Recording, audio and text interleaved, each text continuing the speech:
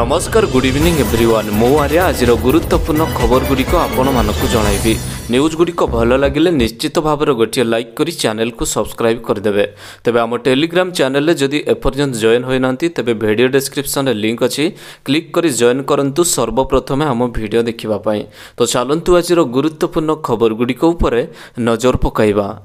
ତେବେ ଇଗ୍ନୋର ନାମଲେଖା ଦଶ ତାରିଖ ଯାଏଁ କରାଗଲା ବୃଦ୍ଧି ତେବେ ଇନ୍ଦିରା ଗାନ୍ଧୀ ରାଷ୍ଟ୍ରୀୟ ମୁକ୍ତ ବିଦ୍ୟାଳୟ ଇଗ୍ନୋ ଭୁବନେଶ୍ୱର ଆଞ୍ଚଳିକ କାର୍ଯ୍ୟାଳୟ ଅଧୀନରେ ଥିବା ବୟାଅଶୀଟି ଶିକ୍ଷା କେନ୍ଦ୍ର ବା ଷ୍ଟଡି ସେଣ୍ଟର ଓ ଛଅଟି କାରାଗାର ପାଇଁ ନାମଲେଖା ଅବଧିକୁ ବୃଦ୍ଧି କରାଯାଇଅଛି ତେବେ ଦୁଇହଜାର ବାଇଶ ତେଇଶର ଶିକ୍ଷାବର୍ଷ ଦୁଇଶହରୁ ଉର୍ଦ୍ଧ୍ୱ ସ୍ନାତକ ୟୁଜି ସ୍ନାତକର ପିଜି ଓ ପିଜି ଡିପ୍ଲୋମା ଓ ସାର୍ଟିଫିକେଟ୍ର ପାଠ୍ୟକ୍ରମରେ ନାମଲେଖା ଚାଲିଅଛି ତେବେ ଗତ ଜାନୁଆରୀ ଏକତିରିଶରେ ନାମଲେଖା ପ୍ରକ୍ରିୟା ଶେଷ ହେବାକୁ ଧାର୍ଯ୍ୟ ହୋଇଥିଲା ମାତ୍ର ଛାତ୍ରଛାତ୍ରୀଙ୍କ ସ୍ୱାର୍ଥକୁ ଦୃଷ୍ଟିରେ ରଖି ଆସନ୍ତା ଦଶ ତାରିଖ ଯାଏଁ ଏହି ଅବଧକୁ ବୃଦ୍ଧି କରାଯାଇଅଛି ତେବେ ଛାତ୍ରଛାତ୍ରୀ ଇଗ୍ନୋର website W W W dot IGNOU dot SC dot ଆଇଏନ୍ରେ ଲଗ୍ଇନ୍ କରି ସବିଶେଷ ତଥ୍ୟ ପାଇପାରିବେ ବୋଲି ବରିଷ୍ଠ ଆଞ୍ଚଳିକ ନିର୍ଦ୍ଦେଶକ ଡକ୍ଟର ସୁରେଶ କୁମାର ତ୍ରିପାଠୀ ସୂଚନାଟି ଦେଇଛନ୍ତି ପରବର୍ତ୍ତୀ ଖବର ଆଜି ବି ଘଡ଼ଘଡ଼ି ସହିତ ବର୍ଷା ପାଣିପାଗ ବିଭାଗ ପକ୍ଷରୁ ୟେଲୋ ୱାର୍ଣ୍ଣିଂ ଜାରି ତେବେ ଆସନ୍ତା ଛତିଶ ଘଣ୍ଟା ମଧ୍ୟରେ ରାଜ୍ୟର ବିଭିନ୍ନ ଜିଲ୍ଲାରେ ସ୍ୱଳ୍ପରୁ ମଧ୍ୟମ ଧରଣର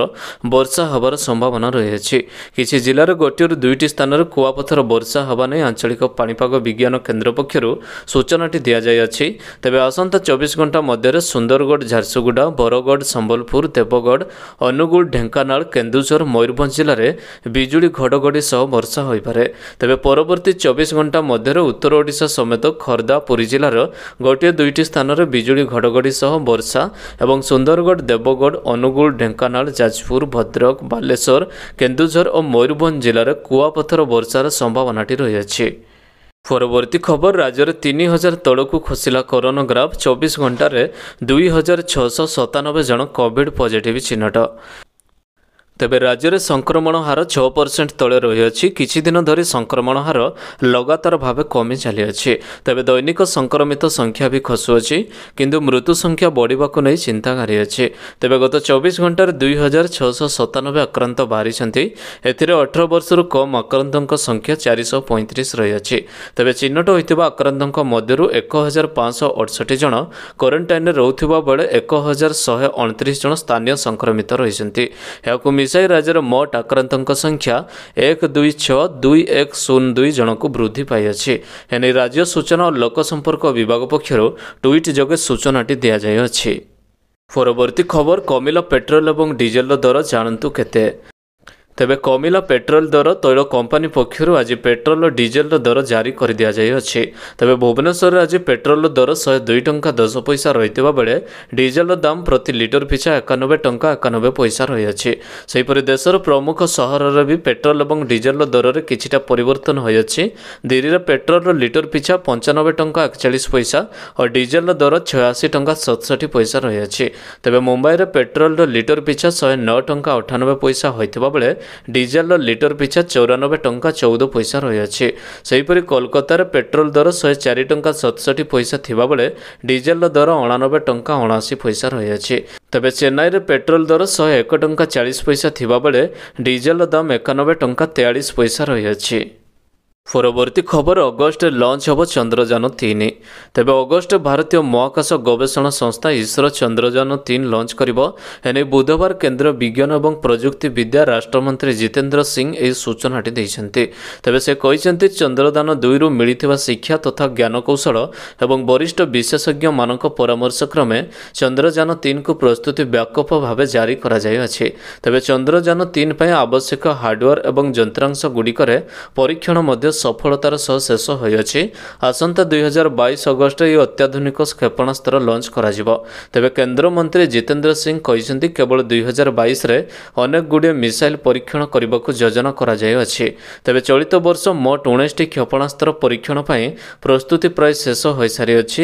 ଯେଉଁଥିରେ ଆଠଟି ଲଞ୍ଚ ଭେହିକିଲ୍ ମେସିନ୍ ଥିବାବେଳେ ସାତଟି ସ୍ପେସ୍ କ୍ରାଫ୍ଟ ମେସିନ୍ ଏବଂ ଚାରୋଟି ଟେକ୍ନୋଲୋଜି ଡେମିଷ୍ଟ୍ରେସନ୍ର ମିଶନ ମଧ୍ୟ ରହିଅଛି ଆଗାମୀ ଦିନରେ ଡିମାଣ୍ଡ ଡିଭ୍ରେଜନ୍ ମଡେଲ୍ ମଧ୍ୟ ସାମ୍ନାକୁ ଆସିବାର ଅଛି ଗତ ତିନି ବର୍ଷ ହେଲା ନୂଆ ନୂଆ ମଡେଲ ଉପରେ ଗବେଷଣା ମଧ୍ୟ କରାଯାଉଅଛି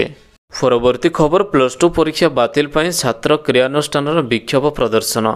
ତେବେ ବଲାଙ୍ଗୀର ଜିଲ୍ଲା ଟିଟିଲାଗଡ଼ ଛାତ୍ର କ୍ରିୟାନୁଷ୍ଠାନର କମିଟି ପକ୍ଷରୁ ଚଳିତ ବର୍ଷର ଯୁକ୍ତ ଦୁଇ ବୋର୍ଡ଼ ପରୀକ୍ଷା ବାତିଲ ଦାବି ନେଇ ଆଜି ଉପଜିଲ୍ଲାପାଳଙ୍କ କାର୍ଯ୍ୟାଳୟ ସମ୍ମୁଖରେ ବିକ୍ଷୋଭ ପ୍ରଦର୍ଶନ କରାଯାଇଅଛି ତେବେ ଦୁଇହଜାର କୋଡ଼ିଏରେ ନାମ ଲେଖିବା ପରଠାରୁ ଲକ୍ଡାଉନ୍ ଯୋଗୁଁ ବର୍ତ୍ତମାନ ଦୁଇହଜାର ବାଇଶ ଯାଏଁ ମାତ୍ର ଚାରୋଟି ମାସ ଅନ୍ଲାଇନ୍ କ୍ଲାସ୍ ହୋଇଅଛି ଏହା ମଧ୍ୟ ଠିକ୍ ଭାବେ ହୋଇପାରିନଥିବାରୁ ଛାତ୍ରଛାତ୍ରୀମାନେ ମଧ୍ୟ ଅସନ୍ତୋଷ ପ୍ରକାଶ ପାଇଅଛି ତେବେ ସେଥିପାଇଁ ପରୀକ୍ଷା ବାତିଲ କରିବାକୁ ଛାତ୍ରଛାତ୍ରୀ ଦାବି କରିବା ସହ ମୁଖ୍ୟମନ୍ତ୍ରୀଙ୍କ ଉଦ୍ଦେଶ୍ୟ ଉଦ୍ଦେଶ୍ୟରେ ଏକ ଦାବିପତ୍ର ମଧ୍ୟ ପ୍ରଦାନ କରିଛନ୍ତି ତେବେ ଏହି ସମୟରେ ମଣିଷ ସାହୁ ରବୀନ୍ଦ୍ର ସାହୁ ଛାତ୍ର କ୍ରିୟାନୁଷ୍ଠାନ କମିଟିର ସାଧାରଣ ସମ୍ପାଦକ ଶେଖର ଦାସ ଉପସଭାପତି ମଞ୍ଜିତ ସିଂ ବିରୋହା ସମ୍ପାଦକ ପ୍ରଦୀପ ନାଗ ଉପଦେଷ୍ଟା ତଥା ବିକାଶ ସେନା ସଭାପତି ଇ ଅମଳ ଷଡ଼ଙ୍ଗୀ ପ୍ରମୁଖ ସାମିଲ ହୋଇଥିଲେ ପରବର୍ତ୍ତୀ ଖବର ସେନା ପୋଷାକ ପିନ୍ଧି ବିବାଦରେ ପ୍ରଧାନମନ୍ତ୍ରୀ ମୋଦି ପିଏମ୍ଓକୁ ଗଲା କୋର୍ଟ ନୋଟିସ୍ ତେବେ ଭାରତୀୟ ସେନାର ପୋଷାକ ପିନ୍ଧି ଅଡ଼ୁଆରେ ପଡ଼ିଛନ୍ତି ପ୍ରଧାନମନ୍ତ୍ରୀ ନରେନ୍ଦ୍ର ମୋଦି ଗତବର୍ଷ କାଶ୍ମୀର ଯିବା ପରେ ପ୍ରଧାନମନ୍ତ୍ରୀ ମୋଦି ସେନା ପୋଷାକ ପିନ୍ଧିଥିଲେ ଏହା ବିରୋଧରେ ଆଗତ ଆବେଦନର ଶୁଣାଣି କରି ଉତ୍ତରପ୍ରଦେଶର ଗୋଟିଏ ଜିଲ୍ଲା କୋର୍ଟ ପ୍ରଧାନମନ୍ତ୍ରୀ କାର୍ଯ୍ୟାଳୟ ପିଏମ୍ଓକୁ ନୋଟିସ୍ କରିଛନ୍ତି ତେବେ ଆବେଦନକାରୀ ଶୁଣାଣି ବେଳେ ଏପରି ପୋଷାକ ପରିଧାନ ଦଣ୍ଡନୀୟ ଅପରାଧ ବୋଲି କୋର୍ଟକୁ ଜଣାଇଛନ୍ତି ମୋଦିଙ୍କ ସେନା ପୋଷାକ ପରିଧାନକୁ ବିରୋଧ କରି ପ୍ରୟାଗରାଜ କୋର୍ଟରେ ଏକ ଆବେଦନ କରାଯାଇଥିଲା ଏଥିରେ କୁହାଯାଇଥିଲା ଯେ ଦେଶର ସୈନ୍ୟ ସେଲର ଏୟାରମାନଙ୍କୁ କୌଣସି ଜିନିଷକୁ ସାଧାରଣ ଲୋକ ବ୍ୟବହାର କରିବା ଆଇପିସିର ଧାରା ଶହେ ଚାଳିଶ ଅନୁଯାୟୀ ଦଣ୍ଡନୀୟ ଅପରାଧ ତେବେ ଆଇନଜୀବୀ ରାକେଶ ନାଥ ପାଣ୍ଡେଙ୍କ ଯୁକ୍ତି ଶୁଣିବା ପରେ ଜିଲ୍ଲା ଜଜ୍ ନଳିନ କୁମାର ଶ୍ରୀ ପ୍ରସ୍ତାବର ପିଏମ୍ଓକୁ ନୋଟିସ୍ କରିଛନ୍ତି ଶ୍ରୀ ପାଣ୍ଡେ ପ୍ରଥମେ ଗତବର୍ଷ ଡିସେମ୍ବର ମାସରେ ଏ ସଂକ୍ରାନ୍ତରେ ଆବେଦନ ମୁଖ୍ୟ ଜୁଡିସିଆଲ୍ ମାଜିଷ୍ଟ୍ରେଟ୍ ହରେନ୍ଦ୍ର ନାଥ ନିକଟରେ ଦାଖଲ କରିଥିଲେ କିନ୍ତୁ ତାଙ୍କ ବିଚାର ପରିସର ମଧ୍ୟରେ ଆସୁନଥିଲା ନଥିବାରୁ ଆବେଦନ ଖାରଜ ହୋଇଯାଇଥିଲା ପରବର୍ତ୍ତୀ ଖବର ସ୍କୁଲ ଖୋଲିବା ନେଇ କେନ୍ଦ୍ର ସରକାରଙ୍କ ନୂଆ ଏସ୍ଓପି ତେବେ ଦେଶରେ କଲେଜ ତଥା ଶିକ୍ଷାନୁଷ୍ଠାନ ଖୋଲିବା ପାଇଁ କେନ୍ଦ୍ର ସରକାରଙ୍କ ପକ୍ଷରୁ ଏସ୍ଓପି ଜାରି କରାଯାଇଅଛି ସେହିପରି ରାଜ୍ୟ ସରକାରଙ୍କ ପକ୍ଷରୁ କୋଭିଡ୍ର ମାର୍ଗଦର୍ଶିକା ମାନିଲେ ସ୍କୁଲ କଲେଜ ଖୋଲିବା ନେଇ ନିଷ୍ପତ୍ତି ନେଇପାରିବେ ତେବେ କେନ୍ଦ୍ର ସରକାରଙ୍କ ପକ୍ଷରୁ ଜାରି ହୋଇଥିବା ନୂଆ ଏସ୍ଓପିରେ ଦର୍ଶାଯାଇଅଛି ଯେ କୋଭିଡ୍ ଗାଇଡ୍ଲାଇନ୍ ମାନେ ସମସ୍ତ ଶିକ୍ଷାନୁଷ୍ଠାନ ଖୋଲାଯାଇପାରିବ ତେବେ ସ୍କୁଲ ଖୋଲିବା ପୂର୍ବରୁ ସଫେଇ ଓ ସାନିଟାଇଜର ବ୍ୟବସ୍ଥା ହେବ ସିଟିଂ ଆରେଞ୍ଜମେଣ୍ଟ ବେଳେ ପିଲାଙ୍କ ମଧ୍ୟରେ ଛଅ ଫୁଟ ଦୂରତା ରହିବ ଷ୍ଟାଫ୍ ରୁମ୍ ଅଫିସ୍ ଅଞ୍ଚଳ ପ୍ରାର୍ଥନା ଗୃହ ଓ ଅନ୍ୟ ସ୍ଥାନଗୁଡ଼ିକରେ ସବୁବେଳେ ସାମାଜିକ ଦୂରତା ନିୟମ ପାଳନ କରାଯିବ ପରବର୍ତ୍ତୀ ଖବର କେନ୍ଦ୍ର ସରକାର କର୍ମଚାରୀଙ୍କ ବଢ଼ିଲା ମହଙ୍ଗା ଭତ୍ତା ତେବେ କେନ୍ଦ୍ର ସରକାର କର୍ମଚାରୀମାନଙ୍କ ପାଇଁ ଖୁସି ଖବର ରହିଅଛି ଚଉଦ ପ୍ରତିଶତ ମହଙ୍ଗା ଭତ୍ତା ବୃଦ୍ଧି କଲେ କେନ୍ଦ୍ର ସରକାର ତେବେ କେନ୍ଦ୍ର ବଜେଟ୍ ଦୁଇ ହଜାର ବାଇଶର ପରଦିନ ମୋଦି ସରକାର କର୍ମଚାରୀଙ୍କୁ ବଡ଼ ଉପହାର ଦେଇଛନ୍ତି କୁହାଯାଉଅଛି କି କେନ୍ଦ୍ର ସରକାର କର୍ମଚାରୀଙ୍କ ଭତ୍ତା ତିନି ପ୍ରତିଶତ ବୃଦ୍ଧି କରିବାର ଥିଲା ହେଲେ ସରକାର ଚଉଦ ପ୍ରତିଶତ ବୃଦ୍ଧି କରିଛନ୍ତି ଯାହାକି ଆଶା କରାଯାଉଥିବା ଭତ୍ତାଠାରୁ ପ୍ରାୟ ପାଞ୍ଚ ଗୁଣ ଅଧିକ ରହିଅଛି ଏନେଇ ରାଜ୍ୟ କେନ୍ଦ୍ର ସରକାରଙ୍କ କର୍ମଚାରୀମାନେ ଖୁବ୍ ଖୁସି ଅଛନ୍ତି ତେବେ ସୂଚନା ଥାଉ କି ଏହାଦ୍ୱାରା କେବଳ ସେଣ୍ଟ୍ରାଲ୍ ପବ୍ଲିକ୍ ସେକ୍ଟର ଏଣ୍ଟରପ୍ରାଇଜେସ୍ ସିପିଏସ୍ସିଏସ୍ର କର୍ମଚାରୀମାନଙ୍କୁ ଲାଭ ପାଇବେ ତେବେ ଗତ ଜାନୁଆରୀ କେନ୍ଦ୍ରୀୟ ପବ୍ଲିକ୍ ସେକ୍ଟର ଏଣ୍ଟରପ୍ରାଇଜେସ୍ କର୍ମଚାରୀଙ୍କ ଡିଓକୁ କେନ୍ଦ୍ର ସରକାର ସଂଶୋଧନ କରିଥିଲେ ତେବେ ପୂର୍ବରୁ କର୍ମଚାରୀମାନେ ଶହେ ସତୁରି ପଏଣ୍ଟ ପାଞ୍ଚ ପ୍ରତିଶତ ହାରରେ ଭତ୍ତା ମଧ୍ୟ ପାଇଥିଲେ ଯାହାକୁ ବର୍ତ୍ତମାନ ଶହେ ଚଉରାଶୀ ପଏଣ୍ଟ ଏକ ପ୍ରତିଶତକୁ ବୃଦ୍ଧି କରାଯାଇଅଛି ପରବର୍ତ୍ତୀ ଖବର ଟ୍ୱିନ୍ ସିଟିରେ କୋହଲ ପାଗକୁ ବହୁଛି ପବନ ବିଭିନ୍ନ ଜିଲ୍ଲାର ବର୍ଷା ଆରମ୍ଭ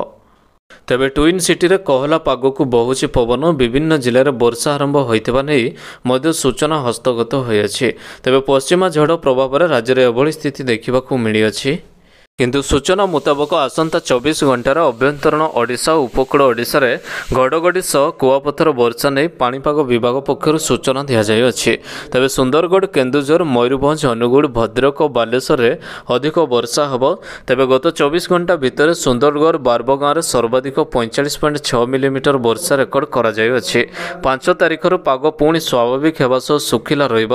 ରାତିର ତାପମାତ୍ରା ସ୍ୱାଭାବିକ ତାପମାତ୍ରାଠାରୁ ତିନିରୁ ଚାରି ଡିଗ୍ରୀ କମିଯିବ ସାମାନ୍ୟ ହ୍ରାସ ପାଇବାର ସମ୍ଭାବନା ରହିଅଛି ପରବର୍ତ୍ତୀ ଖବର ସୁରଟରେ ହେବ ପ୍ରଥମ ବୁଲେଟ୍ ଟ୍ରେନ୍ର ଷ୍ଟେସନ୍ ତେବେ ମୁମ୍ବାଇ ଅହମ୍ମଦାବାଦ ରୁଟ୍ରେ ଦେଶର ପ୍ରଥମ ବୁଲେଟ୍ ଟ୍ରେନ୍ ଚଳାଚଳ କରିବାର ଯୋଜନା ରହିଅଛି ଏହି ରୁଟ୍ରେ ବାପି ବାଲିଅମରା ସୁରଟ ଓ ଭଚୁର ଚାରିଟି ଷ୍ଟେସନ୍ ରହିବ ଏହା ମଧ୍ୟମରୁ ସୁରଟ ଷ୍ଟେସନ୍ କାର୍ଯ୍ୟ ପ୍ରଥମେ ସରିବ ବୋଲି ରେଳ ନ୍ୟାସନାଲ୍ ହାଇସ୍ପିଡ୍ ରେଲ୍ କର୍ପୋରେସନ୍ର ଜଣେ ଅଧିକାରୀ ସୂଚନା ଦେଇଛନ୍ତି ତେବେ ଷ୍ଟେସନ୍ର ନିର୍ମାଣ କାର୍ଯ୍ୟ ଶେଷ ପର୍ଯ୍ୟାୟରେ ପହଞ୍ଚିଅଛି ଏବଂ ଦୁଇହଜାର ଚବିଶ ସୁଦ୍ଧା ଡିସେମ୍ବର ସୁଦ୍ଧା ଏଗୁଡ଼ିକ ପ୍ରସ୍ତୁତ ହୋଇଯିବ ବୋଲି ସେ କହିଛନ୍ତି ତେବେ ଆଶା କରୁଛି ଆଜିର ଗୁରୁତ୍ୱପୂର୍ଣ୍ଣ ଖବରଗୁଡ଼ିକ ଆପଣଙ୍କୁ ନିଶ୍ଚିତ ଭାବରେ ଭଲ ଲାଗିଥିବ ଯଦି ଭଲ ଲାଗିଥାଏ ଭିଡ଼ିଓକୁ ଗୋଟେ ଲାଇକ୍ କରନ୍ତୁ ଏବଂ ଚ୍ୟାନେଲକୁ ସବସ୍କ୍ରାଇବ୍ କରିବା ପାଇଁ ବିଲକୁଲ ବି ଭୁଲନ୍ତୁ ନାହିଁ ଆପଣଙ୍କ ଭଲ ପାଇବା ସ୍ୱରୂପ ଭିଡ଼ିଓକୁ ସେୟାର କରିଦେବେ ପୁଣି ଦେଖାହେବ ଲାଟେଷ୍ଟ ଅପଡେଟ୍ରେ ସେତେବେଳେ ପର୍ଯ୍ୟନ୍ତ ବିଦାୟ ନେଉଛି ବନ୍ଦେ ମାତରମ୍ ଟେକ୍ କେୟାର ବାବାଇ